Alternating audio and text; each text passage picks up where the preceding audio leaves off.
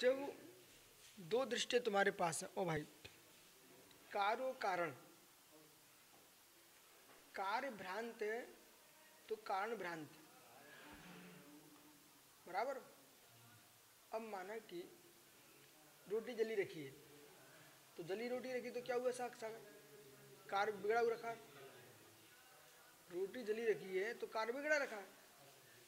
अब उसमें तुम्हें अपने आप ज्ञान हो गया।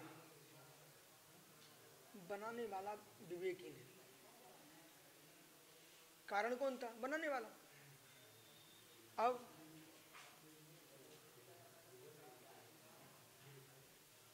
जो कार को भ्रांत देख रहे हैं, उन्हें कारण भ्रांत देख लेना चाहिए। और जो कारण को भ्रांत देख रहे हैं, उन्हें कार भी भ्रांत देखना चाहिए। है? बहुत सारे कारण होंगे। कार विपरीत हुआ है तो कारण विपरीत हुए। और एक कार्य के लिए अनेक कारण हैं। इसलिए या तो संपूर्ण कारणों का व्यवस्थित होना नहीं हो पा है। कुछ ऐसे कारण हैं जो सामान्य दिखते हैं, पर वह उपयोगी होते हैं। आपने देखा होगा बड़ी बड़ी रोड पे तो आप देखते हो छोटे छोटे तार पड़े मिल जाते हैं। तार कहाँ से आए देवता पटक गए क्या? छोटे छोटे बुल्ट पड़े मिलते रोड पर। छोटी छोटी प्लेटें पड़ी मिलती रोड पर। कल, आ, कल तो बहुत बड़ा कुछ पड़ा हुआ था। आज सुबह तो पड़ा था। ये कोई देव थोड़ी पटक गए। इतना विशाल ट्रक है। उसके अंदर वो छोटी सी एक प्लेट, बुल्ट, वो भी कारकारी कारण है वो। ये खिसक जाए ना तो उसको कहीं चल के खड़ा होना पड़ता। है ठीक है? अपने शरीर में सात धातु हैं। ये सात धातु में एक ही धातु का बेसाम हो जाए, आदमी चार पाई पड़ा मिलता है।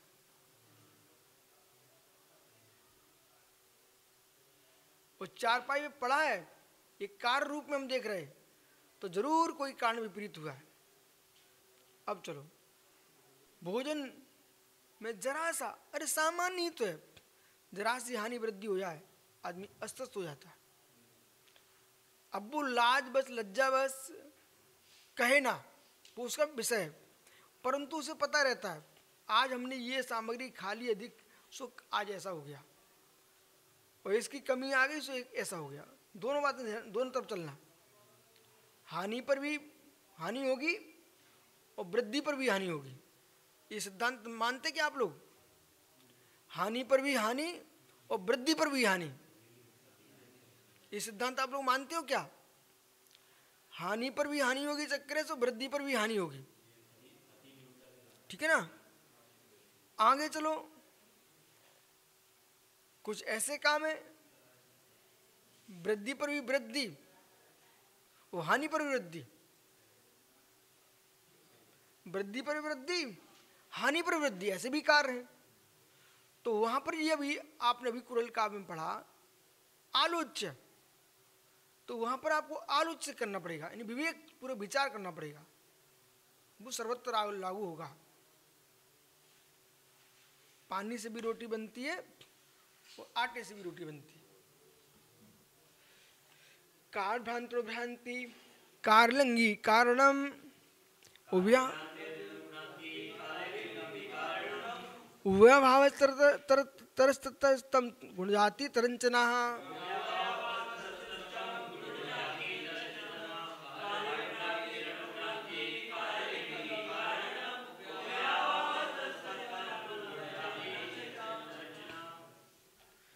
अब यहाँ पर बौद्ध दर्शन है कि चार चार क्या? चतुष्ट पृथ्वी, जल, अग्नि, वायु। यानी अणुसंज्ञा दे रहा है। यदि अणु विकृत हैं तो स्कंद विकृत है। स्कंद विकृत हैं, अणु विकृत है। परंतु अणु तो दिखता नहीं है ना। दिखता स्कंद है। स्कंदों के अनुमान से तो अणु का ज्ञान होता है। स्कंदों के स्कंदों के माध्यम से ही तो अणु का ज्ञान होता है। स्कंद नहीं होते तो अणु का ज्ञान हो ही नहीं सकता। अणु चाक्षुष है तो अणुओं का जो संघात है, उसका नाम स्कंद है। स्कंद की परिभाषा तत्व का सूत्र बोलिए।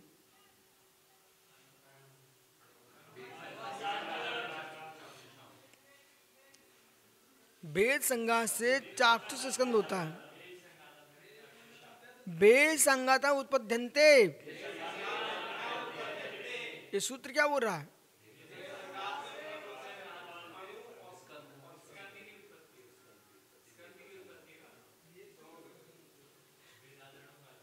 भेद से उत्पन्न होता है स्कंद और भेदा दड़ू अणु तो भेद से ही होता है, इसका संघात से नहीं होता। ठीक है? अब जब स्कंद है। तो भेद संघाताभ्याम उत्पद्यंते स्कंद है तो ज़रूर संघात हुआ है। भेद जो अणु अणु की संघात हुआ है, तभी स्कंद उत्पन्न हुआ है। ठीक है? हाँ बहु स्कंद विखंडित हुआ है, तभी स्कंदी उत्पन्न होता है। कार भ्रांति अणु भ्रांति कार की भ्रांति से अणु की भ्रांति होती है। अब ये सूत्र भले हम बुद्ध को समझा रहे हैं, लेकिन फिर भी आपको इसको मात्र यहाँ तक ही नहीं लेना। लोक व्यवहार में, परमार्थ में, लोकाचार में बहुत रसायन दृष्टि में, सर्वत्र आपको लेके चलना है। रसायन सूत्र है। कार्य की भ्रांति से अणुभ्रांति कार लिंग ही कारणम। कार्य लिंग ही कारणम, क्योंकि कार्य का लिंग, कार्य लिंग किसका? कारण का। उभय भावास उभय भावा, दोनों के भाव होने से ततस्तम तो फिर तत्व नहीं बनेगा। गुण, जाति रंचना। न गुण है, न जाति कुछ भी घटित नहीं होगा। रंच मात भी घटित नहीं होगा। अणुनाम यदित कार्यम, यदि अणु ही कार है, एतत् कार्यम। स्थूल घट पटादिकम तस्य, अणु जो है ना, स्थूल रूप से। घट पटादिक तस्य यदि भ्रांति भ्रांति विभ्रमादि नाम यदि उसमें भ्रांति होती, विभ्रम होता है, कार भ्रांति अणुर्भ्रांति मपी तो कार की भ्रांति से अणु में भ्रांति आती, यथा कार लिंग ही कारणम, क्योंकि कार्य ही लिंग है कारण का। कार्य द्वारा कारण से अवगमो कारण, कार्य के माध्यम से कारण का अवगम होता है। राहुल भाई, अब ये क्या कर रहा अभी? रवि ये राहुल क्या कर रहा है? रिकॉर्ड इसका मतलब है, कार्य करते दिख रहा है। मतलब इस विषय का जानकार होगा, तभी तो ये काम करने आया है। पहले भी किया है ना? अब सुनो। मुझे इतनी बुलवाना था। पहले भी किया है ना? बोले, क्यों? कार्य को देख करके इनके पूर्व में किए प्रयोग को हम समझ रहे हैं, इनकी प्रज्ञा का बोध हो रहा है। तो कार्य के माध्यम से कारण का ज्ञान होता है। ठीक है? तुम पिता के बेटे हो कि माँ के पुत्र हो? क्यों भाई? पिता के बेटे हो कि माँ के पुत्र हो? दोनों हो ना? यदि अपने पिता के बेटे हैं तो कहीं ना कहीं माँ के भी तो बेटे होंगे। तो दो का ज्ञान होता है एक साथ। मार साहब, सुन रहे कि नहीं? अब ये लोग इधर बातें कर रहे हैं। मतलब बातें कर रहे हैं, ये कार है इनका। इसका मतलब क्या हुआ? इनको इधर रुचि नहीं है। इधर रुचि होती तो बाहर की बातें क्यों करते?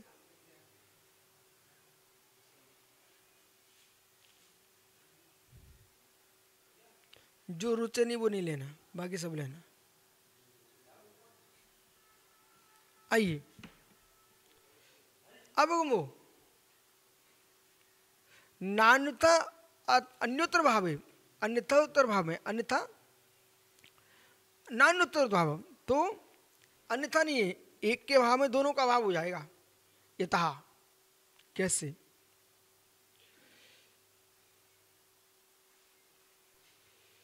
अणुनाम कार्य स्थूल घट पटाधिकम तस्।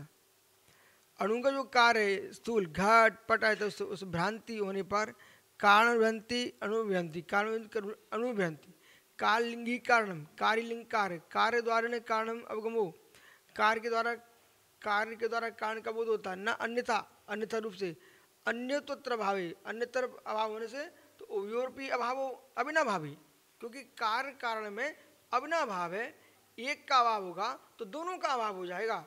नियमात, ये नियम है, नियम से संजय सागरी, क्या हुआ? नियमात नियमात निश्चितार्थ, नियम से। उभय से जब उभय का अभाव हो जाएगा तथा स्तम तयो तो उनके दोनों के अंदर स्थित गुणो, गुण रूपादि, जाति, सामान्य मित्र मित्रार्थ रूपादि और सामान्य जाति इस प्रकार से क्रिया ये तत्क्रिया समुत्तम न सियात, न वहाँ पर आपके रूप बनेगा, न स्थिति बनेगी, न गुण बनेगा, न सामान होगा, न जाति होगी, न क्रिया होगी, सभी नहीं होंगे तो फिर क्या होगे? एतत् समुद्रतम न सियात, समूह रूप से नहीं होंगे। न च इत इष्टम इष्ट नहीं है सर्व प्रकार प्रसिद्धत्वाद ये सभी प्रकार से प्रसिद्ध है यदि एक कारण का अभाव होगा तो कार्य का भी अभाव हो जाएगा और कार्य का अभाव होगा तो कारण का भी अभाव हो जाएगा ऐसा जानना चाहिए